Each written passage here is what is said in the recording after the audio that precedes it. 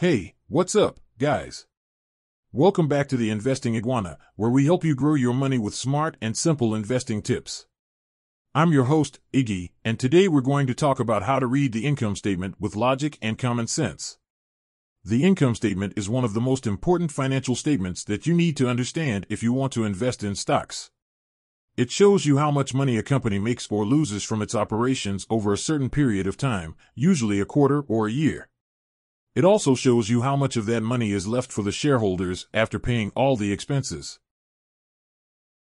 The income statement can help you answer some key questions about a company, such as A. Is the company profitable or not? B. How fast is the company growing its sales and earnings?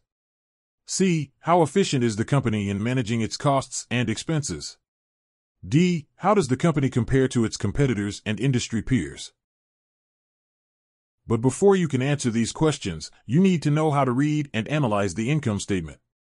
And that's what we're going to do in this video. We're going to break down the income statement into its main components and explain what they mean and why they matter. We're also going to use some simple examples and analogies to make it easy and fun for you to follow along. So let's get started. The income statement has four main sections revenue, expenses, income, and earnings per share. Let's go over each one of them. Revenue is the amount of money that a company earns from selling its products or services. It's also called sales or top line because it's usually the first line on the income statement. For example, let's say you own a lemonade stand and you sell 100 cups of lemonade for $1 each in a day. Your revenue for that day would be $100. That's how much money you made from selling lemonade. But revenue doesn't tell you how much money you actually get to keep. You also have to consider your costs and expenses. Expenses are the costs that a company incurs to generate revenue. They include things like cost of goods sold, operating expenses, interest expenses, and taxes. Cost of goods sold, COGS, is the direct cost of producing or acquiring the products or services that a company sells. It includes things like raw materials, labor, and overhead. For example, let's say your lemonade stand has some costs associated with making lemonade. You have to buy lemons, sugar, water, cups, and ice. You also have to pay yourself a wage for your time and effort. Let's say these costs add up to 50 cents per cup of lemonade. Your COGS for selling 100 cups of lemonade would be $50. Operating expenses, OPEX, are the indirect costs of running a business. They include things like rent, utilities, marketing, salaries, research and development, and depreciation. For example, let's say your lemonade stand has some operating expenses as well. You have to pay rent for the space where you set up your stand. You also have to pay for electricity to run your blender and refrigerator. You also have to spend some money on advertising your lemonade stand on social media. Let's say these expenses add up to $20 per day. Interest expenses are the costs of borrowing money from lenders or creditors. They include things like interest payments on loans, bonds, or mortgages. For example, let's say you borrowed $100 from your friend to start your lemonade stand business. You agreed to pay him back with 10% interest per year. That means you have to pay him $10 in interest every year until you pay back the principal amount. Taxes are the payments that a company has to make to the government based on its income. They include things like federal income tax, state income tax, local income tax, and sales tax. For example, let's say your lemonade stand business is subject to a 20% income tax rate. That means you have to pay 20% of your income as taxes to the government. Income is the amount of money that a company has left after paying all its expenses. It's also called profit or bottom line because it's usually the last line on the income statement. There are different types of income that measure different levels of profitability. A. Gross profit is the difference between revenue and COGS. It shows how much money a company makes from selling its products or services before accounting for any other expenses. B. Operating income is the difference between gross profit and OPEX. It shows how much money a company makes from its core business operations before accounting for any interest or taxes. C. Pre-tax income is the difference between operating income and interest expenses. It shows how much money a company makes before paying any taxes. And D. Net income is the difference between pre-tax income and taxes. It shows how much money a company makes after paying all its expenses.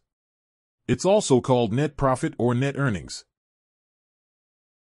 For example, let's calculate these types of income for your lemonade stand business based on our previous assumptions. Gross profit equals revenue, COGS equals 100 to $50 equals $50. Operating income equals gross profit, OPEX equals 50 to $20 equals $30. Pre-tax income equals operating income, interest expenses equals 30 to $10 equals $20, net income equals pre-tax income, taxes equals $20, $20 times 0.2 equals $16. As you can see, your net income is much lower than your revenue because you have to deduct all your costs and expenses along the way. Earnings per share, EPS, is the amount of net income that a company earns per share of its common stock outstanding. It shows how profitable a company is on a per share basis. To calculate EPS, you simply divide net income by the number of shares outstanding. EPS equals net income divided by shares outstanding. For example, let's say your lemonade stand business has 10 shares outstanding and you earn $16 in net income in a day. Your EPS for that day would be EPS equals $16 divided by 10 equals $1.60. That means you earned $1.60 per share of your lemonade stand business. EPS is an important metric for investors because it helps them compare the profitability of different companies based on their share price. For example, let's say there are two lemonade stand businesses in your neighborhood, yours and your competitors. Your competitor also sells 100 cups of lemonade for $1 each in a day but has lower costs and expenses than you do. COGS equals 40 cents per cup. OPEX equals $10 per day. Interest expenses equals $5 per day. Taxes equals 20% of income. Shares outstanding equals 10. Let's calculate their net income and EPS for comparison. A. Gross profit equals revenue, COGS equals $100, 40 cents times 100 equals $60. B. Operating income equals gross profit, OPEX equals 60 to $10 equals $50. C. Pre-tax income equals operating income interest expenses equals 50 to $5 equals $45. D. Net income equals pre-tax income taxes equals $45. $45 times 0.2 equals $36 and E. EPS equals net income divided by shares outstanding equals $36 divided by 10 equals $3.60. As you can see, your competitor has higher net income and EPS than you do because they have lower costs and expenses than you do. This means that they are more profitable than you are on a per share basis. However, EPS alone doesn't tell you everything about a company's performance or value. You also need to consider other factors such as growth rate, dividend policy, valuation multiples, competitive advantage, industry trends, etc.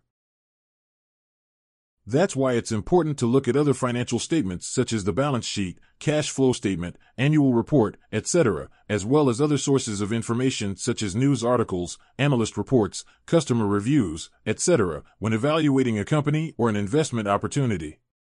And that's what we're going to do in our next videos. So stay tuned for more investing tips from the Investing Iguana. And if you liked this video, please give it a thumbs up and subscribe to my channel for more. And don't forget to hit the bell icon so you don't miss any of my future videos. Thanks for watching and I'll see you next time on the Investing Iguana.